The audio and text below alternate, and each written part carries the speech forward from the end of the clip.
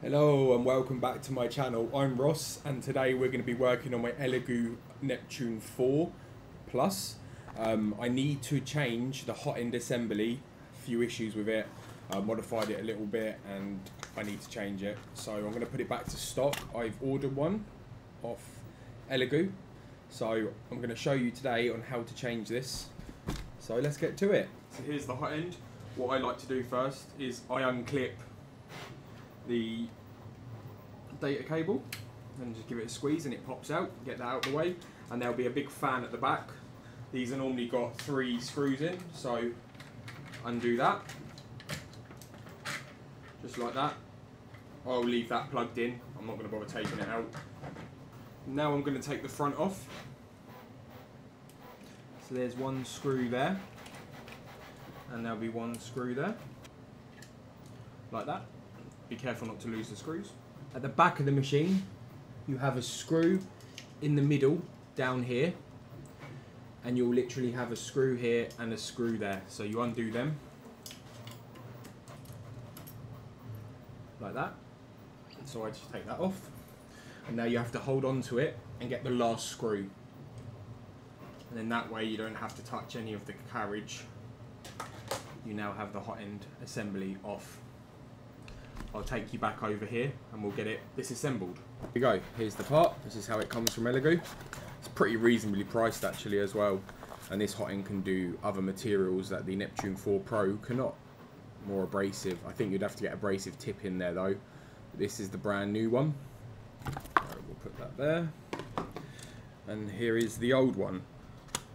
I'd done a few modifications because I used one that wasn't meant for this and got it working, but I just want an original part in there. So you first take off the, heating element wire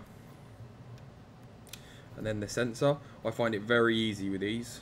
Um, much, much easier than my fingers. So that's now disconnected. So it's that one there for the element and then it's this one here on the side for the um, sensor. And now we just undo it.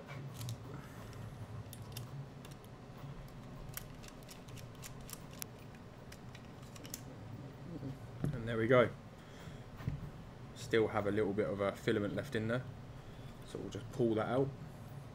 And the tube is in there as well. I might just replace that because I have a spare one now with the chamfer in. And just drop it down there like that. So that's now installed. So now we have the brand new one. The tubes in there as well. I'm going to stick it inside. There we go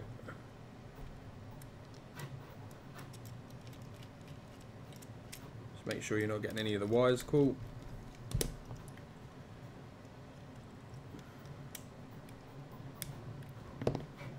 Push that down like that. And now plug the thermistor in.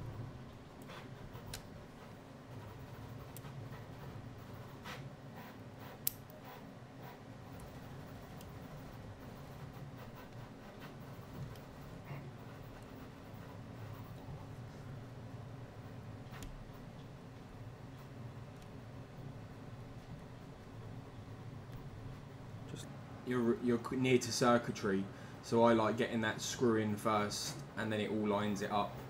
That's how I do it. So now I'll bring it through with the screw there. You don't have to go too tight with the screws. So now as I move this, I'm now lining up the two next, the two top holes just by moving it slightly left and right. So I'll leave them in, and I will literally get my two fingers. Sorry about being in the way, like that. So now it's in. I now just continue screwing it up. Going to put the front on. You just want to be careful when you're putting the front on that you don't nip any of the wires. Just make sure they're all out of the way.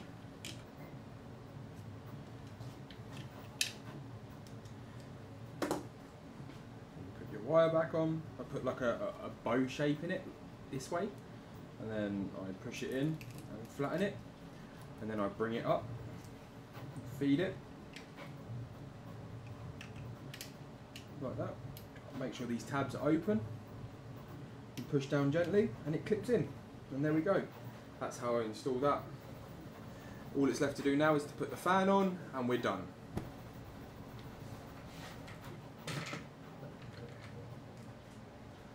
And that's it. Installed. And there we go. I must stress you, you need to do your leveling again. So your Z leveling and your bed leveling because you've slightly moved this and you could have knocked anything. So level it again and then as easy as that. I will be doing a video soon on how to do that. So thank you for watching. I hope you, you got something out of it and it was interesting and helped. Please like, subscribe and um, comment and I'll catch you soon. Thank you.